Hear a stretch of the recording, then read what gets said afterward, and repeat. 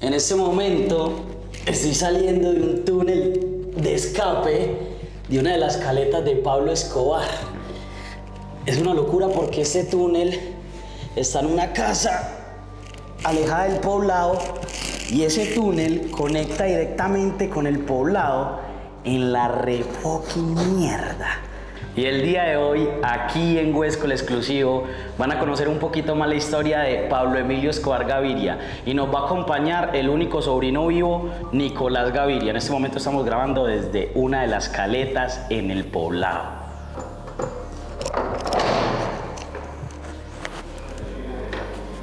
Quiero empezar mostrándoles el árbol genealógico de la familia Escobar. La mamá, el papá, los hermanos. Actualmente estamos haciendo la entrevista con Nicolás Escobar, que es el sobrino de Pablo Escobar y el hijo de Peluche. Peluche actualmente está vivo, pero está ciego y sordo porque hicieron un atentado con una bomba en la cárcel hacia él. También tenemos aquí el parcero, que es un hermano que se desprendió de la familia hace muchos años, está vivo, dicen que está en Guatapé. Si usted tiene un tío en, en Guatapé, pregunte que de pronto es familia de Pablo Escobar y no se ha dado cuenta. En este video estamos entrevistando a Nicolás Escobar, que es el sobrino de Pablo Escobar y era el contador, posible contador de la familia, que administraba muchas cantidades de dinero en Suiza.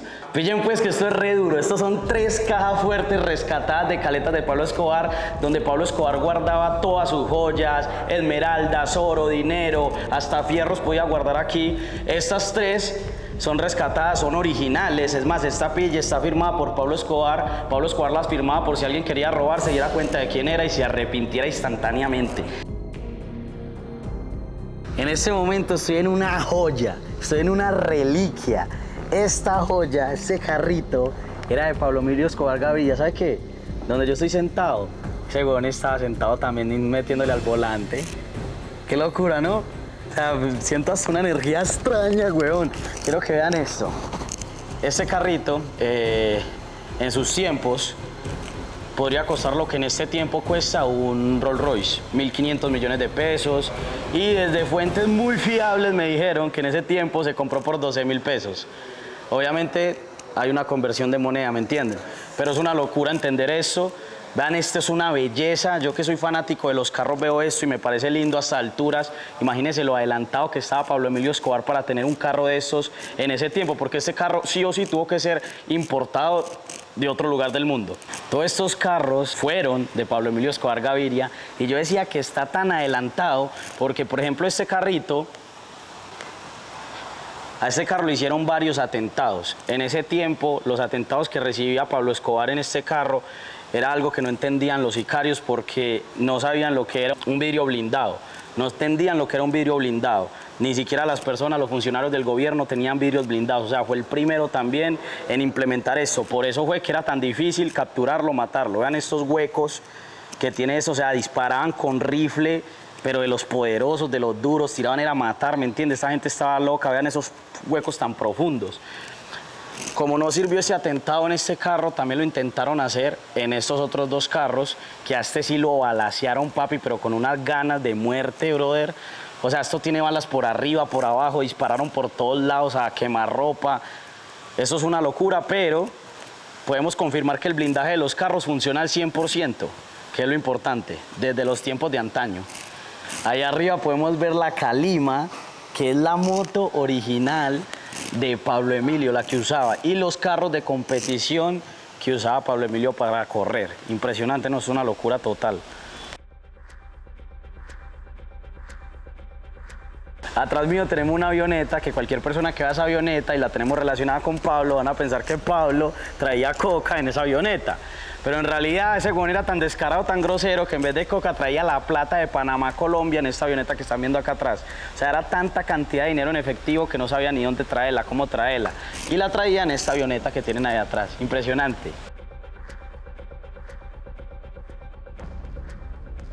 Esto que vamos a ver es una locura, una locura total, de verdad. Esto es un simulador de avión en los tiempos de Pablo Emilio. Esto no existía, pa. Ese man es un adelantado al tiempo.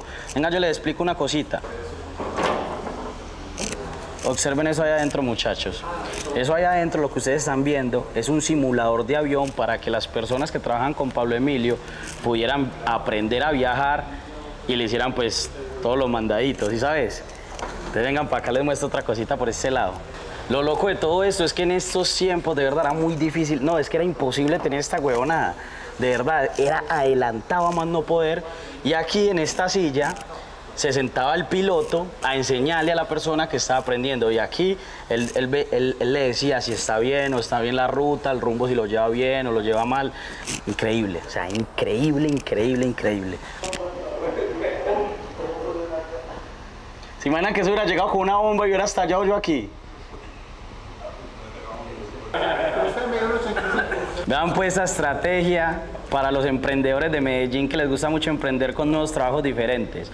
Esta moto era de Pablo Escobar y la pintó negra por un lado y rojo por el otro para cuando lo vieran no supieran si la moto es negra o era rojo. Entonces que algunos dijeran que lo vieran en una negra, algunos en una rojo. Imaginen la estrategia.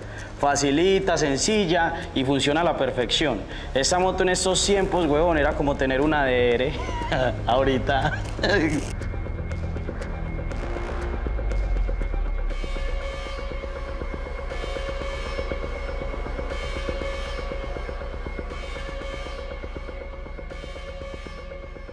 yo fuera Pablo y estuviera aquí sentado, aparezco, soy yo. ¿Tú qué harías ahí? ¿Qué me dirías? ¿O te levantarías, me abrazarías? Pablo era una persona de no abrazar, de no dar besos, era una persona que cuando te saludaba te frenaba si vos querías ir como sobrino a darle un abrazo, un beso. Yo nunca supe que fue haber dado o recibido un abrazo de Pablo, nunca. Él era una persona muy bien puesta, podía ganarse mil millones de dólares y jamás usted lo veía con una carcajada o podía, podía perder cinco mil millones de dólares y tampoco lo veías triste. Él era de esa manera. Tal vez si yo eh, tuviera la oportunidad de acercarme a Pablo así como tú lo planteas en este momento, yo le pediría una cosa muy especial y era que le pidiera disculpas a la familia de los Galeano y de los Moncada, porque la verdad que aún hoy se me paran los vellos de, saber el dolor que sintió esa familia con lo que se hizo y que fue el principio del fin del cartel de Medellín. Todos conocen a Pablo por la cantidad de plata que llegó a ganar, siendo el hombre más rico del mundo. Eh, ¿Esa herencia qué? ¿Con quién quedó con toda esa liga? Bueno, eh, con todo ese dinero quedó eh, el hijo de Pablo, eh, la esposa de Pablo, a la que le quitaron casi todo el dinero fue a, la niña, Manuela. Eh, dejó mucho dinero para todos los hermanos. Eh, los que no tengan hoy dinero es porque pues no lo supieron administrar, están acostumbrados siempre a que llegara el dinero en borbotones y, y, de esta manera pues pensaban que pronto el dinero iba a seguir llegando, pero cuando Pablo muere, que era el proveedor de toda la familia, se lo gastan pero la colección más grande de obras de arte le quedó a la familia eh, de Pablo. La colección más gigante de carros le quedó, a Juan Pablo, eh, el hijo de Pablo. Y así sucesivamente, casi todo el dinero le quedó a ellos. Yo no voy a decir que a todos nosotros no nos quedó algo de Pablo, a todos nos quedó un poco. A uno nos gusta trabajar, nos mm. gusta hacerlo de nosotros, nos gusta eh, lucharla para hacer un proyecto de vida totalmente diferente, diferenciador. Pero dinero hubo por miles y miles de millones. ¿Y a ti te tocó una tajada? A todo el mundo le tocó una tajada. Yo no conozco a nadie en Medellín que pueda decir, o al menos el 99%, que de una u otra manera no recibió plata de Pablo en un negocio. Si una casa valía 500 mil pesos en aquella época, se le iban a vender a Pablo, valía un millón. ¿Tú crees que si yo hubiera estado en, estos, en esos tiempos, tuviera el conocimiento, las redes, que o sea, suponiendo que me adapto al tiempo allá, y yo hubiera insultado a Pablo Escobar, ¿tú crees que ese man me hubiera mandado a matar por hablar de él mal? No, o cogerlo de parche. Pablo no, Pablo no era una persona que llegaba a ese punto por eso. Pablo era cuando ya eran reiterativos y utilizaban, sabiendo él que le había dado orden, el gobierno empezaba a atacarlo de esa manera. Ahí ya era que él eh, respondía y siempre respondía fuerte. Pero yo creo que si Pablo hubiese tenido la oportunidad de conocerte, te hubieras mirado.